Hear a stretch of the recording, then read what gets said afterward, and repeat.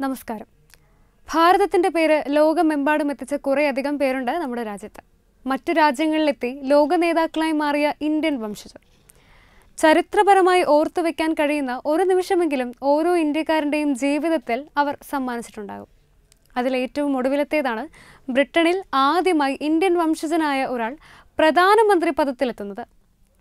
പഞ്ചാബിൽ വേരുകളുള്ള ഋഷി സുനക്കാണത്. എന്നാൽ ഇന്ത്യയ്ക്ക് പുറത്ത് ഒരു ഇന്ത്യൻ വംശജൻ പ്രമുഖ നേതാവാകുന്നത് ഇതാദ്യമായല്ല.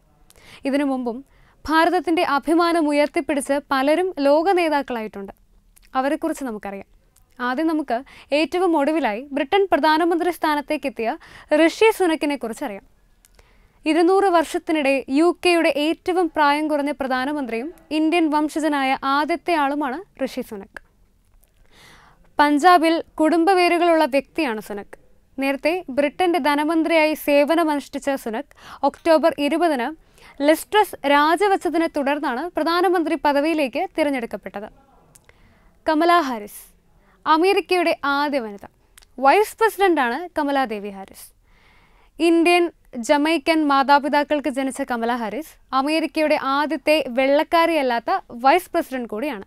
കൂടാതെ രണ്ടായിരത്തി പതിനേഴ് മുതൽ രണ്ടായിരത്തി ഇരുപത്തി ഒന്ന് വരെ കാലിഫോർണിയ സെനറ്ററായിരുന്നു.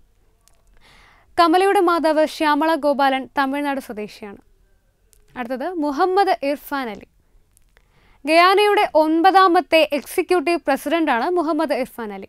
രണ്ടായിരത്തി ഇരുപത് ഓഗസ്റ്റിലാണ് ഉന്നത പദവിയിൽ അദ്ദേഹം എത്തുന്നത്. കൂടാതെ ഗയാനയുടെ ആദ്യത്തെ മുസ്ലിം പ്രസിഡന്റ് കൂടിയാണ് മുഹമ്മദ് ഇർഫാൻ അലി.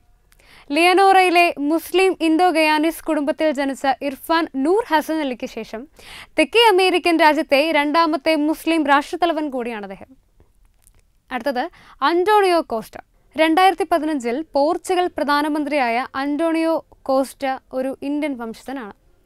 അദ്ദേഹത്തിന്റെ പിതാവിന്റെ കുടുംബം ഗോവയിൽ നിന്നുള്ളതാണ്. പിതാവ് ഒർലാൻഡോ ഡ കോസ്റ്റ ജനിച്ചത് കിഴക്കൻ ആഫ്രിക്കയിലെ മൊസാംബിക്കിലാണ്. ചാൻ സന്തോക്കി.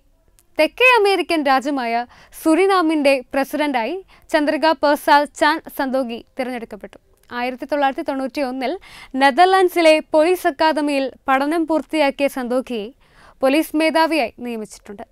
രാജ്യത്തെ സ്വേച്ഛാധിപത്യം അവസാനിപ്പിച്ച് സുരിനാമിന്റെ പ്രസിഡന്റായി സന്തോഖിയെ നിയമിച്ചത് വലിയൊരു വഴിത്തിരിവും കൂടിയായിരുന്നു. അടുത്തത് പ്രവീൺ ജുഗ്നാഥ്. രണ്ടായിരത്തി പതിനേഴ് മുതൽ മൗറീഷ്യസിന്റെ പ്രധാനമന്ത്രിയായ പ്രവീൺ ജുഗ്നാഥ് ഇന്ത്യയിൽ ഉത്തർപ്രദേശിൽ നിന്നുള്ള ആളാണ്. ലാക്കാവേണിലെ അഹസിലെ ഒരു ഹിന്ദു കുടുംബത്തിലാണ് ജുഗ്നാഥ് ജനിച്ചത്.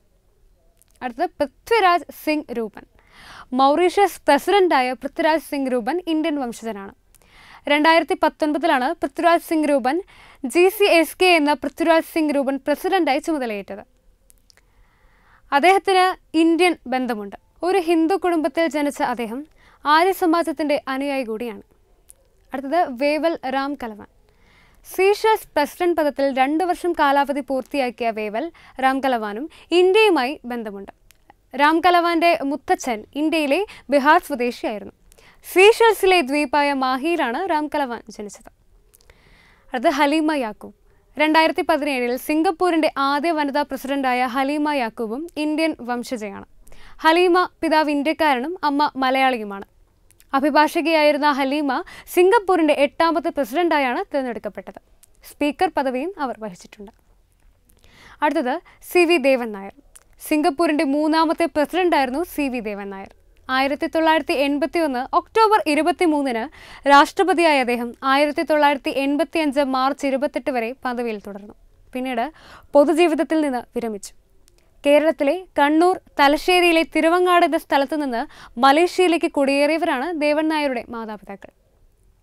ആയിരത്തി തൊള്ളായിരത്തി ഇരുപത്തി മൂന്ന് ഓഗസ്റ്റ് അഞ്ചിന് മലേഷ്യയിലാണ് അദ്ദേഹം ജനിച്ചത്.